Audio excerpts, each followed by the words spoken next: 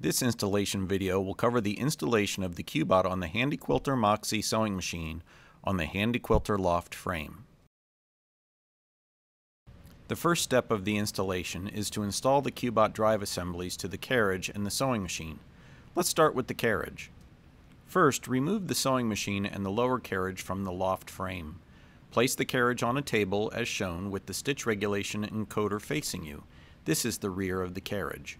Using a 3 16 inch hex or Allen wrench, remove the wheels from the carriage. It will look like this when the wheels are removed. Next, thread the quarter 20 by 3.5 inch screws provided in the QBOT hardware kit into the threaded holes in the carriage. Screw them in all the way so it looks like this. Now, place the wheels onto the screws as shown and thread on a quarter 20 nut to secure the wheel. Tighten securely as shown here and here. Now slide on a 1.5 inch aluminum spacer and a 5 8 inch long spacer as shown here. Next, place the X-axis drive assembly as shown here. The X-axis drive assembly has been machined to fit here. It is a different shape than the Y-axis drive assembly. Secure the drive assembly with a washer and nut as shown here. Tighten securely. We're all done with attaching the first drive assembly. While the carriage is still on the table, it is time to install the Y-axis drive wire holders. Remove the screw as shown here. Place the rear drive wire holder as shown. Note the direction that the small attachment finger is pointing. The finger needs to point in this direction so the drive wire eyelet does not slip off the finger. Now, thread the screw back into the carriage as shown here. Tighten securely, but do not over tighten. Next is to mount the other Y-axis drive wire holder to the front of the carriage. Remove the screw as shown here. This is on the same rail as the rear wire holder. Place the front Y-axis wire holder as shown. Note that the finger is pointing toward the front of the carriage. Tighten securely, but do not over tighten. Now it's time to mount the Y-axis drive assembly to the sewing machine. The drive assembly mounts to this side of the sewing machine.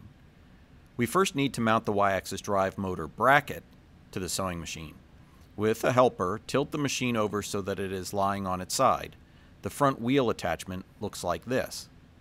Remove the bolt that is holding the wheel to the machine.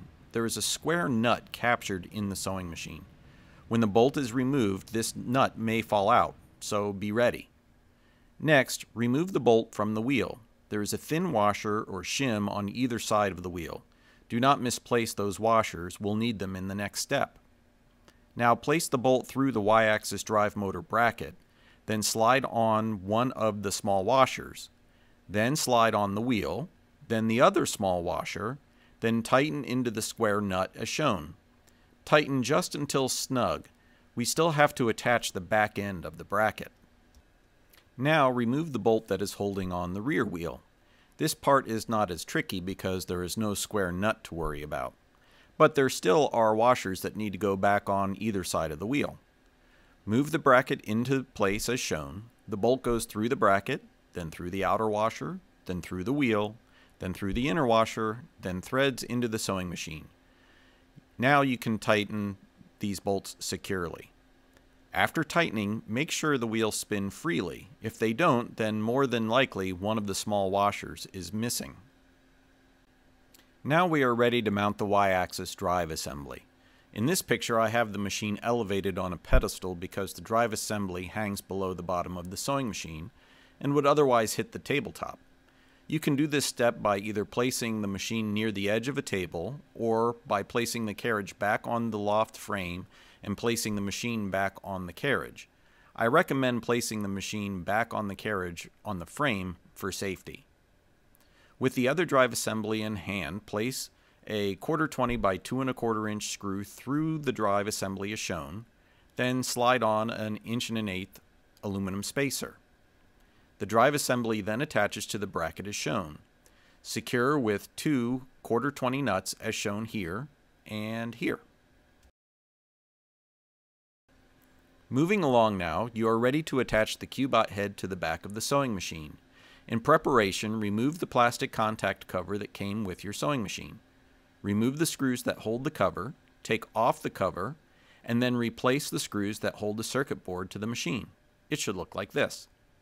Next, using three 5mm by 8mm long screws that came in your QBOT installation kit, attach the bracket as shown. Thread each of the screws in loosely at first, then give them a final secure tightening once all of them have been started. This will ensure that the bracket is aligned properly. This bracket integrates the signal connection to the sewing machine, so QBOT will automatically start and stop the sewing machine at the beginning and ending of quilting. When installed, the QBOT should look like this. Now is a good time to secure the DB9 contact connector to the I.O. port at the top of the QBOT head. Use a small Phillips head or plus screwdriver to secure the plug to the port. Now let's turn to the top front of the sewing machine. There are three threaded holes on the top of the machine for mounting the tablet stand.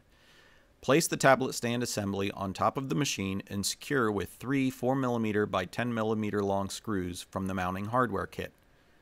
Just like when we mounted the head on the back, thread in each of the three screws loosely first, then tighten securely. The tablet stand is adjustable in tilt angle and can expand to accept a wide variety of tablet sizes. Now we are ready to mount the X-axis wire holders. Standing at the back of the frame, this is the right-hand side. Attach the corresponding wire holder as shown here. Thread in two 4mm by 10mm long screws loosely as shown, and then secure tightly. Moving to the left-hand side of the frame, repeat the same procedure as done for the right. Thread in loosely, then tighten securely. Now we're ready to install the X-axis drive wire. Place one end of the drive wire on the drive wire bracket as shown. Next, wrap the wire twice around the X-axis drive wheel as shown here. Note that the wire enters and exits from the bottom of the drive wheel. While keeping some tension on the drive wire with one hand, place the hook end of the tensioner through the other eyelet, then place the loop or eye end of the tensioner onto the other drive wire bracket as shown. Tension the drive wire by turning the center barrel of the tensioner only. The hook end of the tensioner should never twist, as this will impart additional stresses to the drive wire and will cause premature failure of the drive wire. Moving on to the y-axis drive wire, the procedure is the same. Mount one end of the drive wire to the front drive wire mounting bracket, then wrap twice around the drive wheel as shown, entering and exiting off the bottom of the drive wheel. This step is a little tricky, so be patient as possible. Then finally tension the wire by turning the barrel of the tensioner only. With the mechanical connections all completed, we're ready to make the final wiring connections. Attach the Y-axis drive motor cable to the Y-axis drive assembly as shown here. Make sure you hear the click as it connects. Connect the other end to the top of the QBOT head in the Y-axis drive motor port. Again, make sure it clicks into place.